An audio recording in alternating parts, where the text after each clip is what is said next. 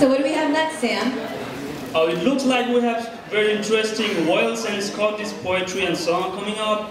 Please welcome Claire Leonard and Chris Greenfield.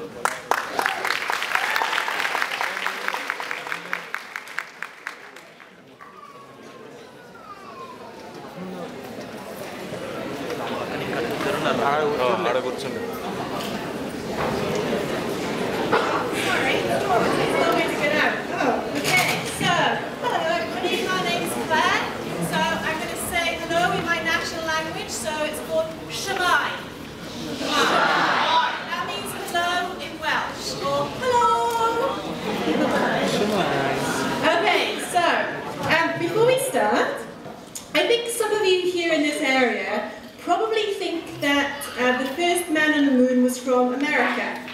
But in Wales, uh, we believe that the first man on the moon was called, he was a Welshman, and he was called Morgan, or Mog for short. So tonight, I'm going to tell you the story of Morgan the Moon.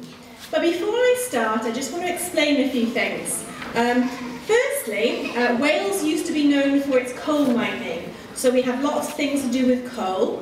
And secondly, there's a tradition in Wales that when you visit a seaside town, you would buy yourself some candy called rock, and inside the rock, written all the way through it, would be the name. Sorry, would be the name of the seaside town.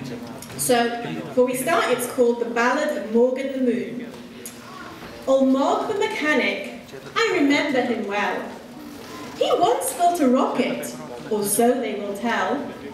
From an old winding engine he built on the dole, built in the Rhondda, and power.